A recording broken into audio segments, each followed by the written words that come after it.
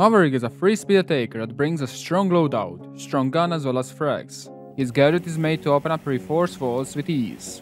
All that he needs is a teammate watching an angle he's making. He can make walls south by having two parallel lines that connects edge of the single reinforcement. If the reinforced wasn't destroyed, then drone the missing pixel of the reinforcement. If the walls are not bandit or kaided, rappel upside down and do bottom and then the top line of the wall.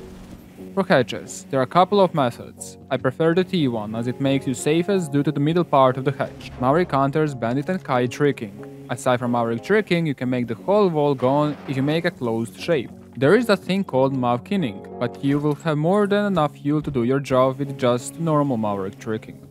When tricking, consider which angles are on the opposite side, or put a drone to see if you're being contested. If you want to get coached by most popular coach on Siege, now it is the best time to do the 30% discount that lasts only for 3 hours.